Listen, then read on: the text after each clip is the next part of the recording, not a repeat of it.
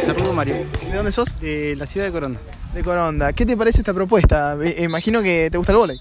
Sí, sí, sí. sí. Eh, no, en verdad que es re lindo. Eh, ya me habían hablado años anteriores, pero no podía. Y justo tengo mi cuñado que es del norte, así que aproveché la oportunidad, me dijeron para venir. Me parece lindo, aparte es un ambiente familiar, así que está buenísimo.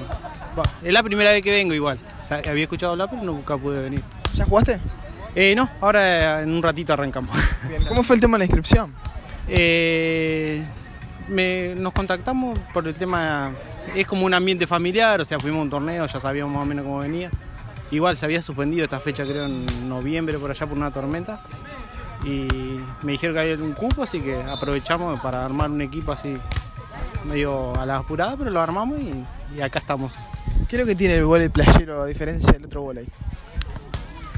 Es, es otra cosa, ¿viste? Por ahí está bien que esto es una mezcla, porque viste que entre el vóley playero y el vóley indoor, no es el vóley de dos que por ahí tiene otras reglas. Pero es como que uno, qué sé yo, ¿viste? El tema de la arena.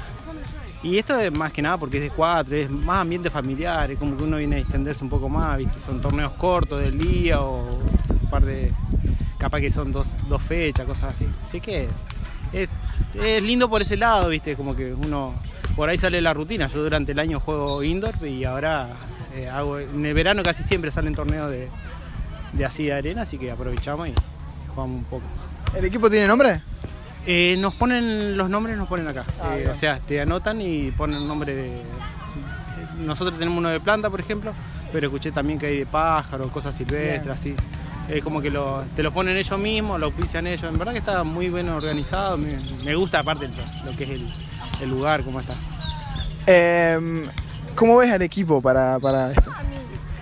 ¿Cuáles son los objetivos?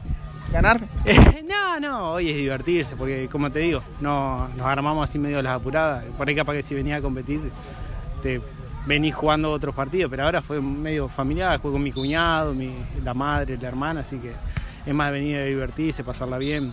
Y sí, siempre, viste, es como que hay varias zonas, así que todos más o menos se van felices porque tenés varias zonas. Y no, no, ese es el propósito hoy en día, es eso, más que nada.